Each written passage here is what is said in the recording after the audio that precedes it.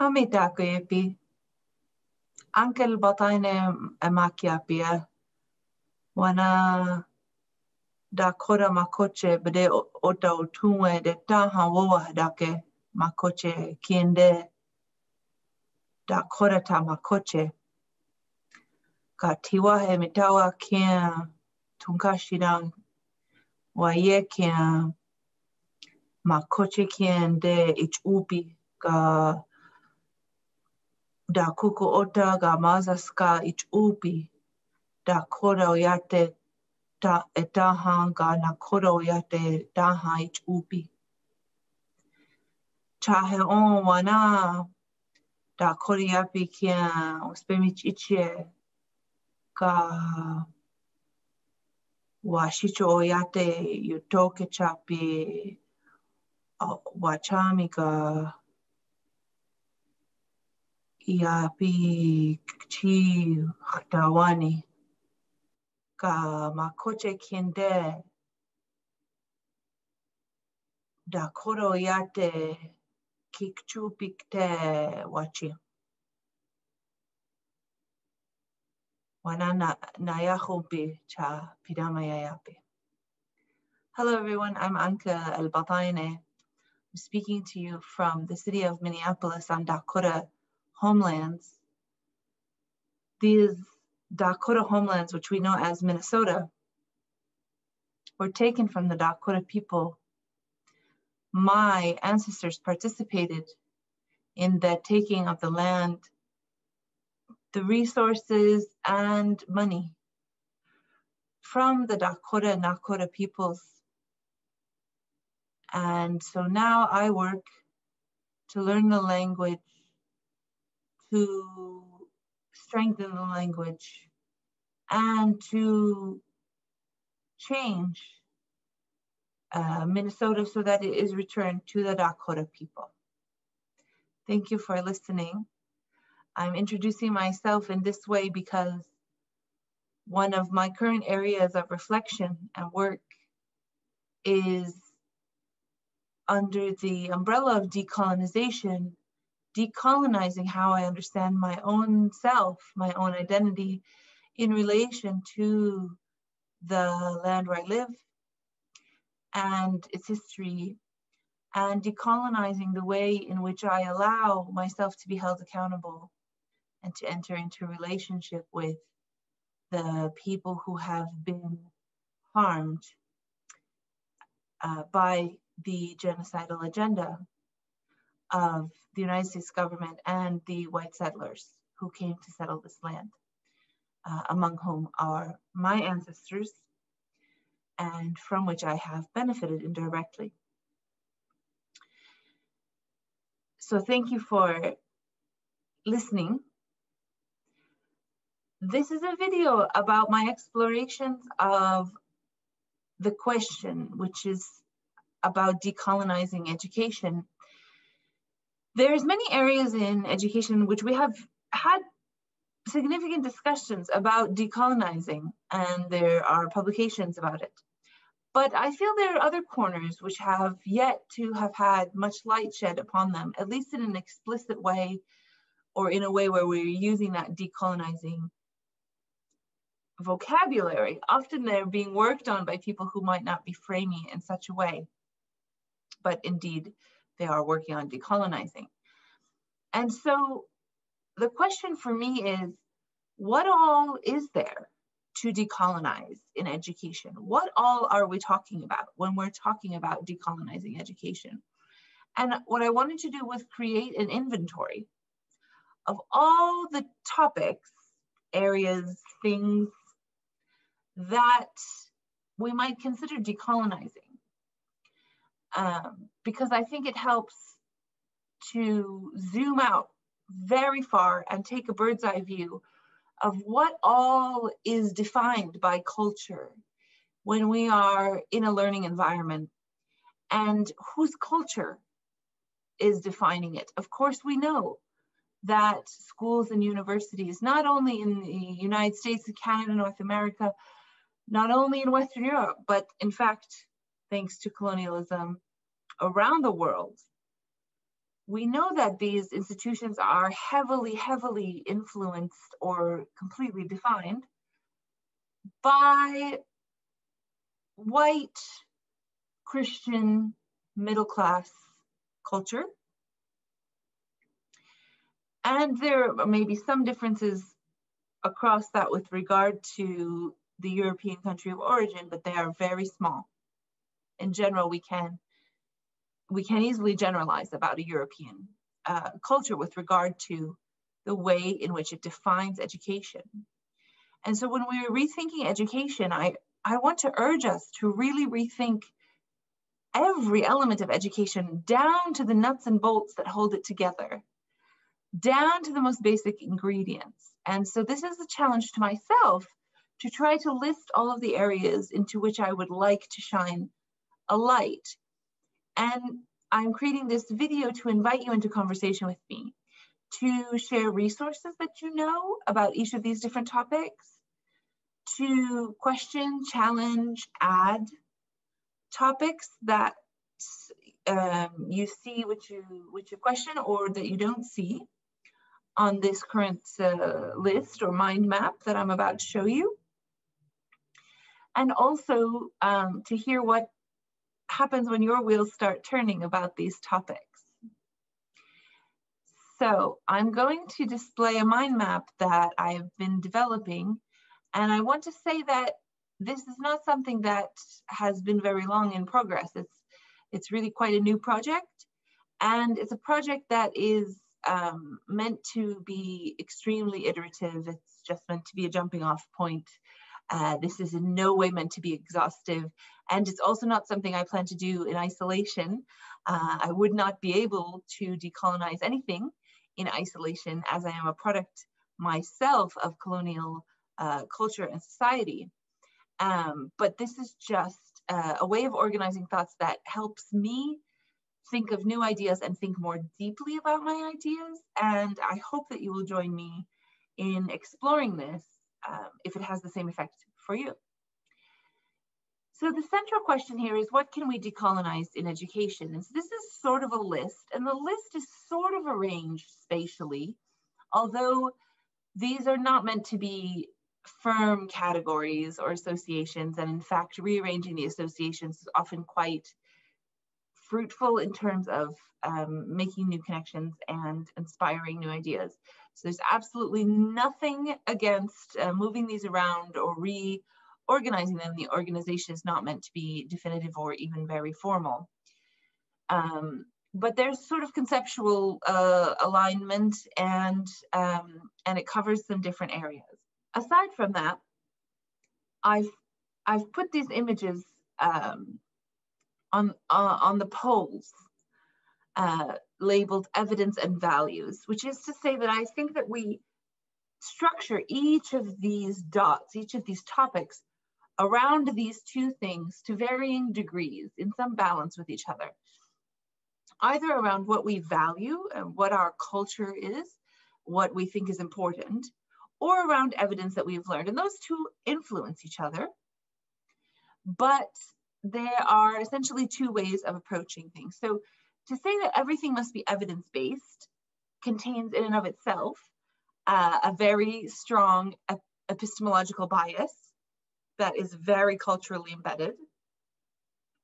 But certainly evidence-based changes are relevant for everyone and could be considered by any cultural uh, group or in any cultural pro project because a lot of times when we talk about values or we talk about cultures, we think about them as frozen in time often when we're talking about decolonizing, there's a tendency to think that everything is about returning to what was before colonization. The problem with, uh, with that being, of course, that it, it can't be done. and also that it doesn't account for uh, both the way in which the people themselves have been changed and altered by colonization such that elements of their previous cultural norms may no longer fit them. But also it discounts any positives that we might want to incorporate.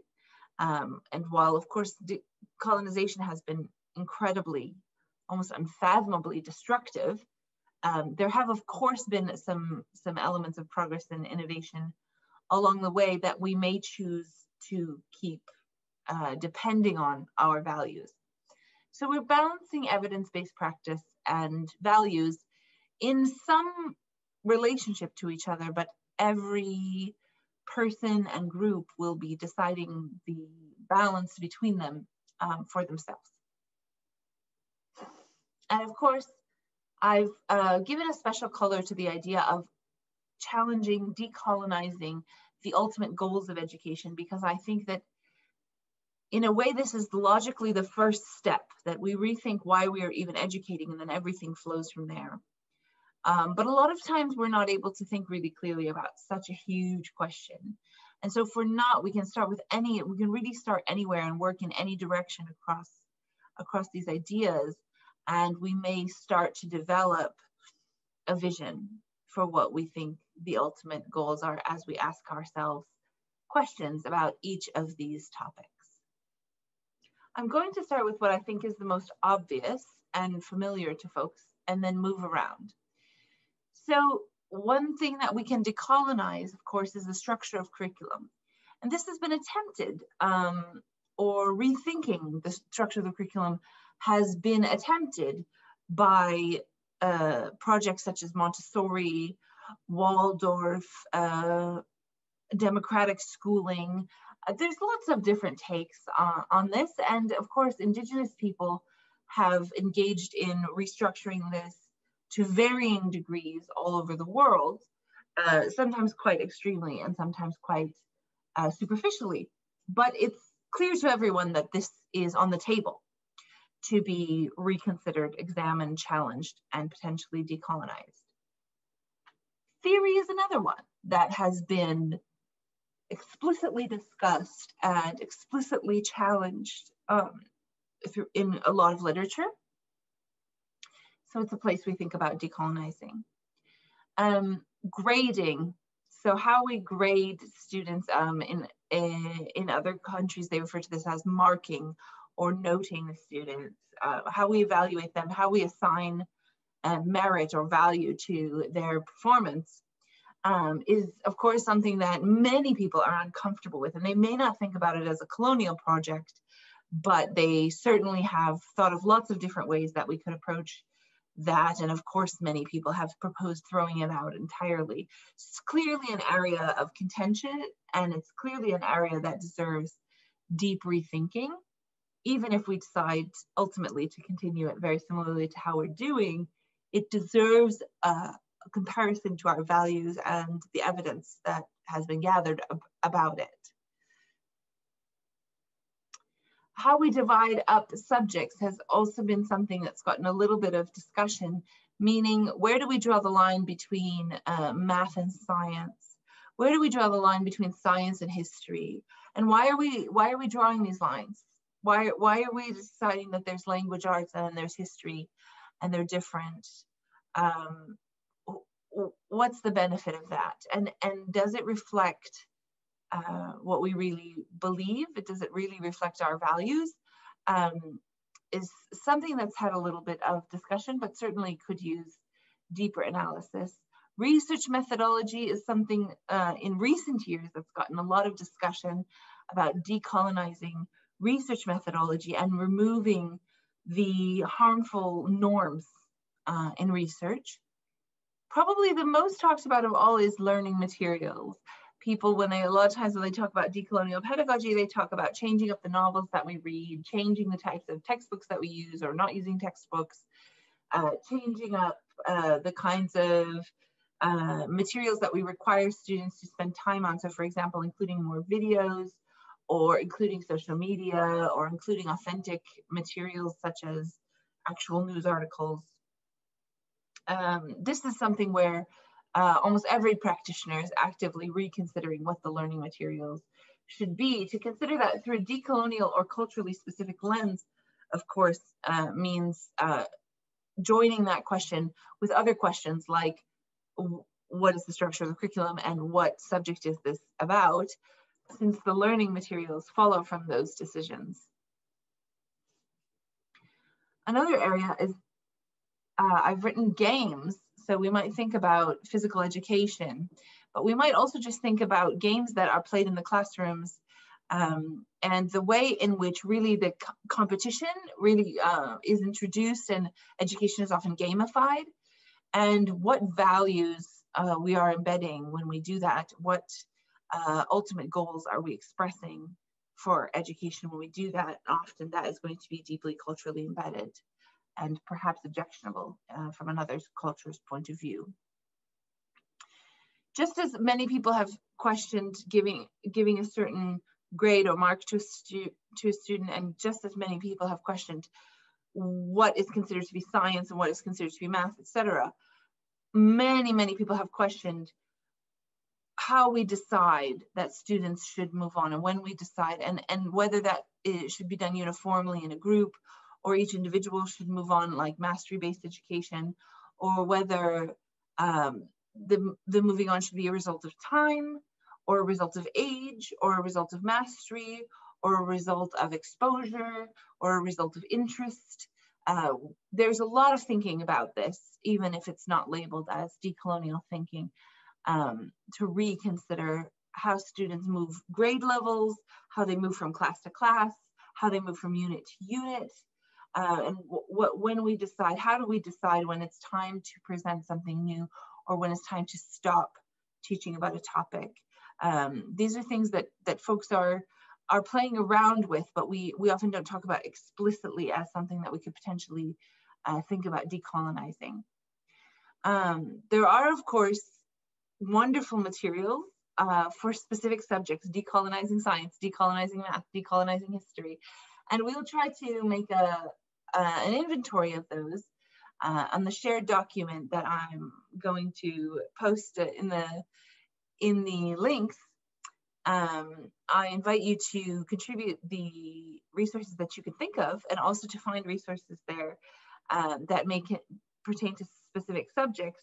And they may do any of these um, other types of work that we describe here. They may question any of these other norms within education from a decolonial lens or otherwise.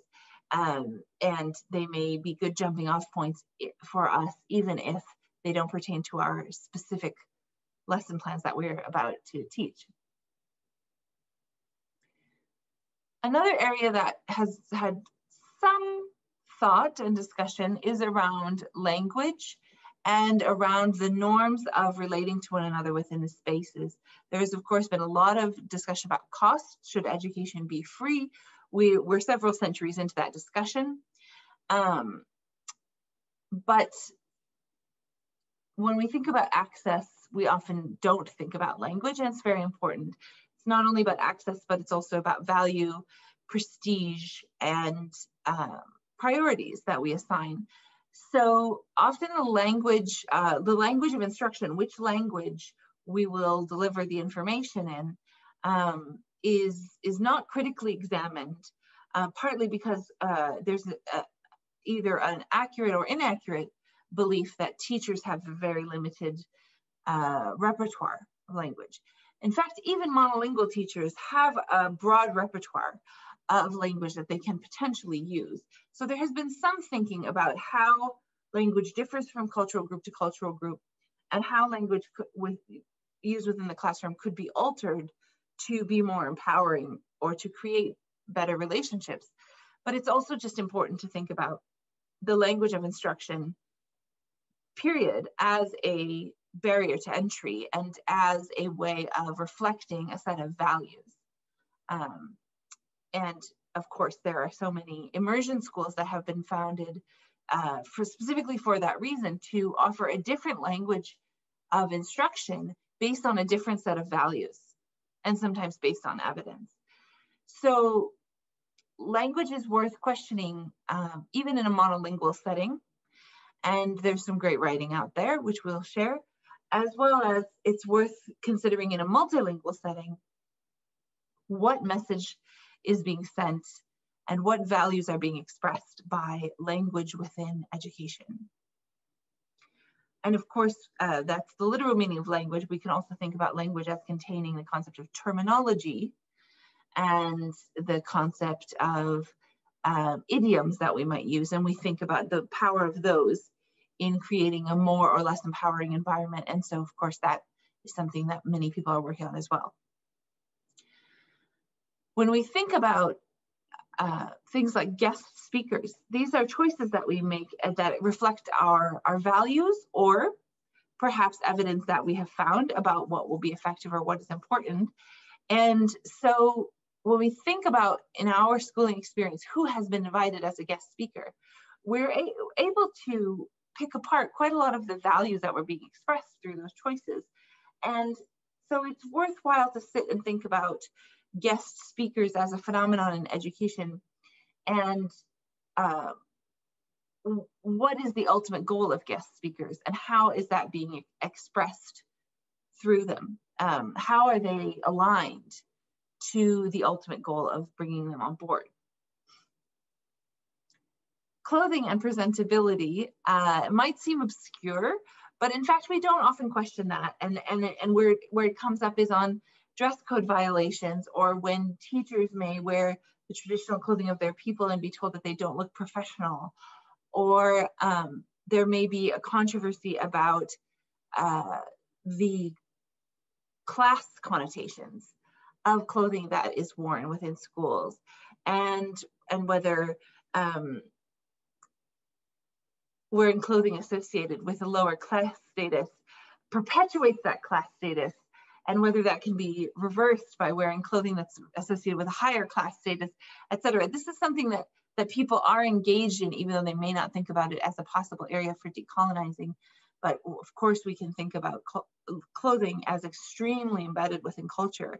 And then we can think about the norms of what we consider to be presentable or professional or appropriate for school um, as deeply cultural and something that we may decide to shift in order to make a decolonial or post-colonial education environment more welcoming to the people it aims to serve. This is a very concrete one, talk time. It means literally the number of minutes and number of seconds for which the teacher is talking versus the students. And uh, we all know that we're very prone to talking when in fact the students have sort of tuned out and we actually need to be more concise or give more space and more silence. So that part is being talked about, but also who talks and who talks when and what are we allowed to talk about and to what extent if if something happens something traumatic happens on my way to school or if my grandma died yesterday to what extent is talk time turned over to me to do what I want with, or to what extent is it controlled and the content is monitored uh, by the teacher, and, and what does that reflect about the aims that we have? Demands on attention is the idea that uh, we have cultural beliefs about what considers what is considered to be paying attention and whose attention span is the correct one. There are a lot of judgments about uh, particularly shorter attention spans and whether they indicate laziness or whether they indicate a lack of self-discipline or a moral failing of some kind and what implications they have for the future of the child. This is a very hotly debated topic, but it's almost never discussed from the idea of a colonized idea of, of what we should be paying attention to, or to be more concrete about it, uh, a capitalist view of what we should be paying attention to, where we should be budgeting and allotting our attention um, is something that capitalism cares a lot about. And so it's worth rethinking what is the kind of attention that is valued by our culture and then by the evidence that we have seen in terms of what people are experiencing and what they might want to experience, how they might get there, uh, there's a lot to explore within demands on attention and a lot to reconsider based on the cultural framework that we want to use. Decolonial pedagogy is not in and of itself a cultural framework. It's the idea of challenging the cultural framework that exists within the colonial, Euro-colonial school system and bringing one's own or one's local cultures to bear in as far reaching a way as possible.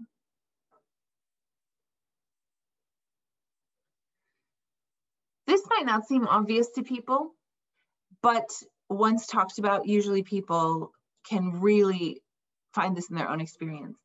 That, that space, how space is allocated within rooms or even virtual rooms, um, who gets to, to take space, what space is dedicated to. These are all deep reflections of our values and something which we could consider decolonizing. One very simple concrete example is that a lot of indigenous people will uh, intentionally set up a room to work in a circular way as opposed to in a rectangular way where the lines are straight because the circle engenders a lot of the values of the culture and produces the kind of interactions that they wish to see, that they value culturally. And that is, of course, very uncomfortable for people with opposite values. So those are, are things that can be rethought, especially when one has control over the program or the school, um, as well as the body's experience of being in the space. So when we say the body's experience, I'm referring to light.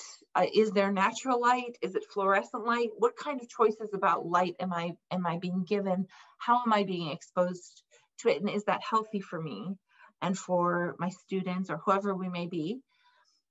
And and right up there with it is food. Same questions for food but also important to consider the movement toward native foods and the restoration of indigenous food systems the building of alternative food systems so that they can be informed by indigenous food knowledge as well as available to those who are not given access in the in the capitalist system.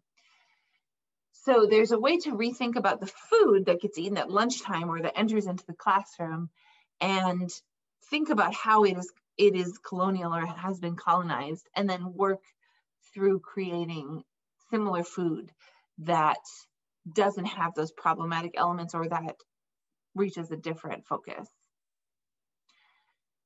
Along with how our bodies are experiencing the space, we can talk about the times of day that we're expected to be in the classroom, and we can critically rethink whether those really make sense for us based on evidence and based on our values, as well as the seasons.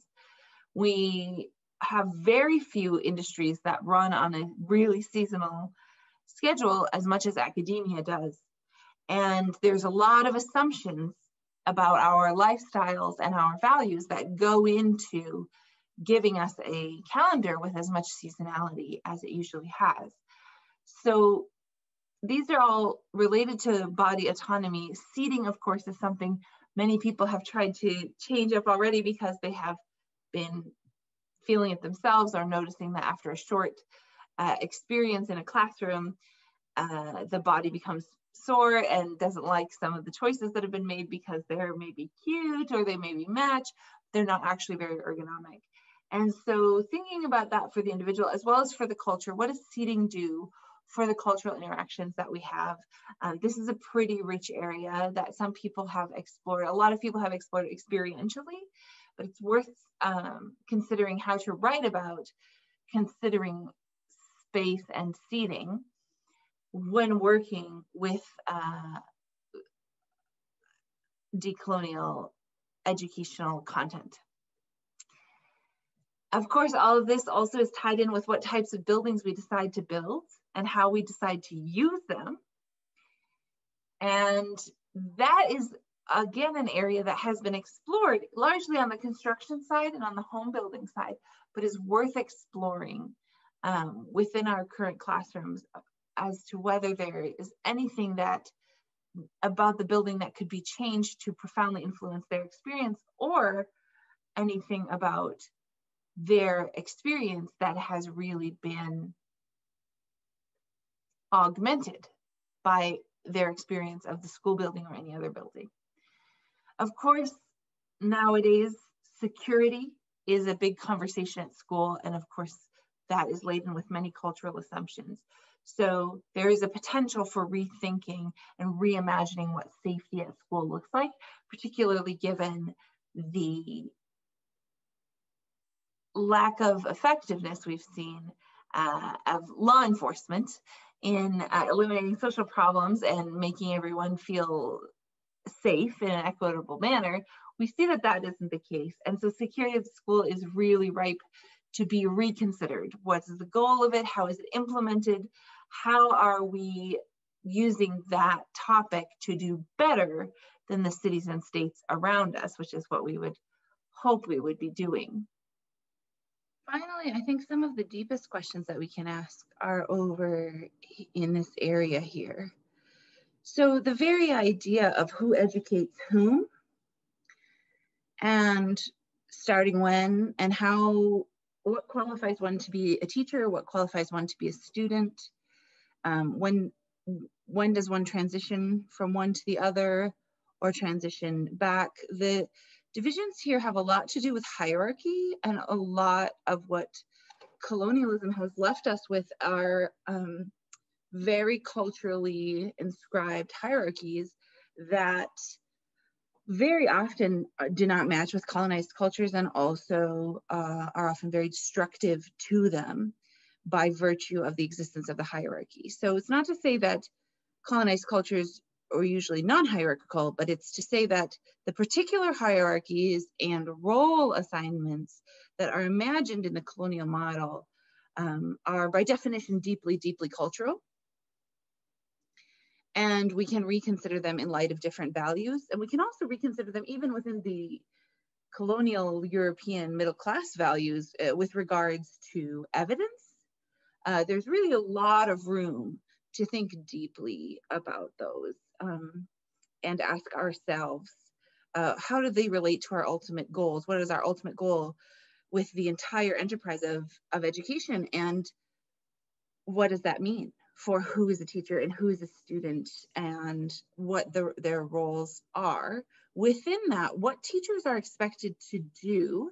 This is something we see discussed within the context of the labor movement. And of course, the COVID 19 pandemic has really brought this to the fore, uh, where we really think about what, what is teacher labor and what are teacher responsibilities.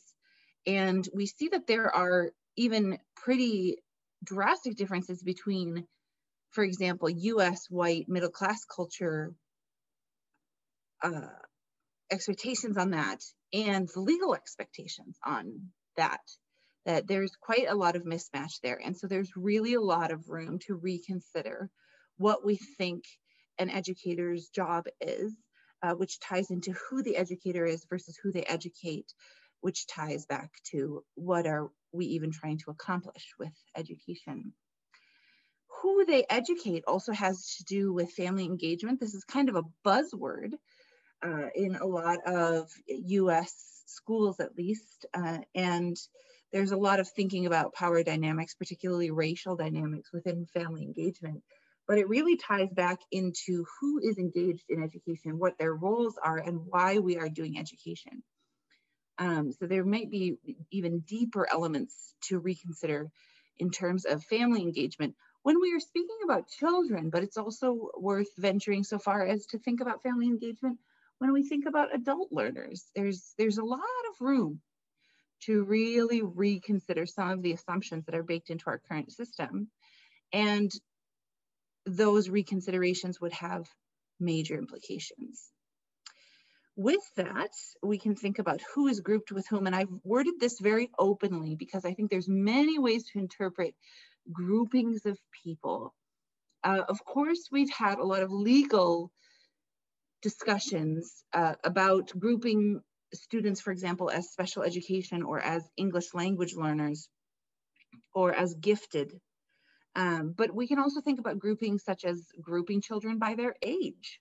Um, we've uh, talked to some extent in the culture about grouping children by perceived ability or perceived interest, but we often haven't really looked at the cultural underpinnings of those. There's some evidence about some of those approaches leading us to believe that some of them are problematic, but most of the examination hasn't been very deep. We can carry that forward into thinking about teachers. How are teachers grouped and students grouped, teachers grouped apart from students? How are teachers subgrouped? Uh, who are grouped as administrators? Who are grouped as parents? Um, how are parents subgrouped? How are administrators subgrouped?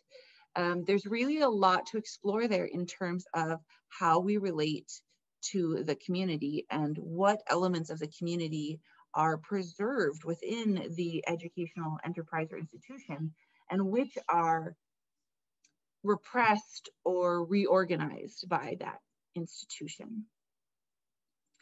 Classroom management and discipline, um, I've listed them separately because it, one important aspect of that line of thinking is that they are distinct things. Many times people are using the words classroom management. What they really mean is discipline.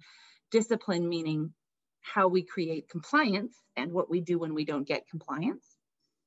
Classroom management is really intended to also refer to things like routines, norms, expectations, what is rewarded, what is considered appropriate at different times, how things are organized, literally where things are put within the classroom, who can go get them, who can touch them, who can distribute them, um, where people are sitting for what activity or standing for what activity, um, the, the, the routines, the way that we sort of train uh, ourselves as well as uh, children or adult learners to behave in order to make the classroom a routinized, calm, controlled place. So we can think about those as values. We could reconsider them, as well as everything that flows forth from them. Discipline being then what comes in uh, when those routines or the that control and compliance isn't immediately grasped by all of the participants.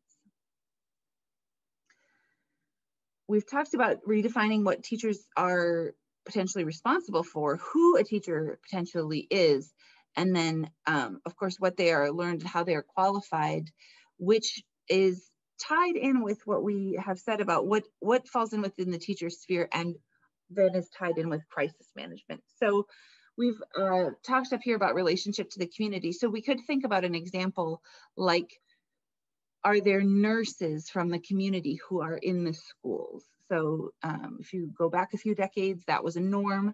Generally, that has been defunded um, in the US, but it's an interesting way of thinking about community to classroom connections and how we deal with crises. So crises are sometimes related to discipline. So we've had um, really horrible examples like the story in Florida where police came to a school and handcuffed and arrested a six-year-old for having what the teacher considered to be a tantrum in the classroom, not complying to the norms of the classroom.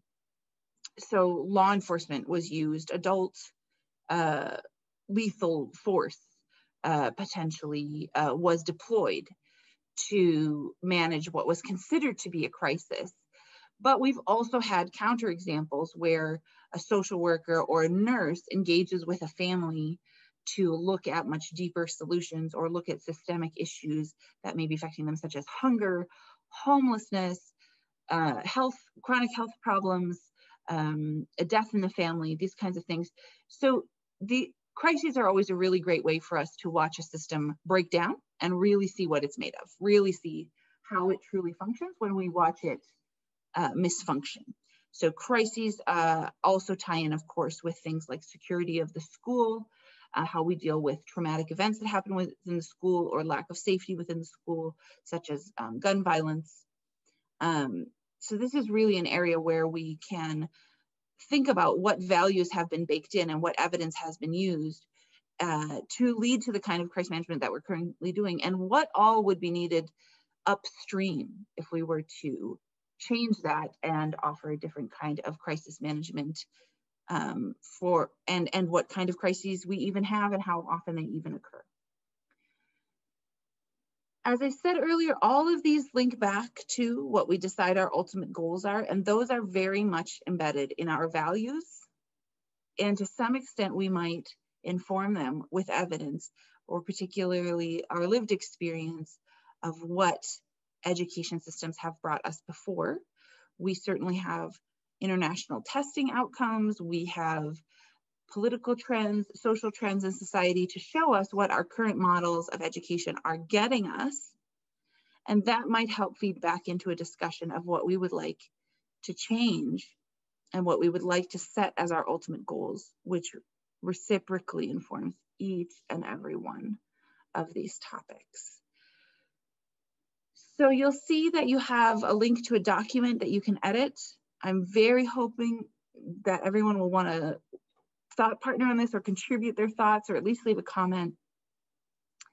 Very much interested in different ways that other people might see this. So I'll be sharing a document where you can place links that you have to really great resources for decolonizing anything within education or education itself.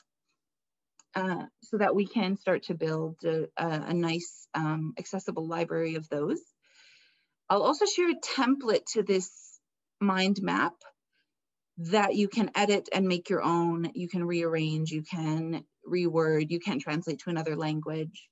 Um, all of this is shared under a share alike attribution Creative Commons license, which means that you can't monetize anything uh, out of this, but you can create something and then share that and ask others to share as long as you always give attribution. And so we want to bring as many people into this conversation as possible. And so you can make this graphic your own, you can edit the document, and you can also leave comments to spark thoughts or share where your thinking is at or any amazing examples that you have seen of attempts to rethink, redesign, reimagine any of these elements of education. So thank you everyone for your involvement past and future in this discussion. Pidamayayapi. Thank you for your attention and I look forward to engaging with you and co-thinking with you going forward.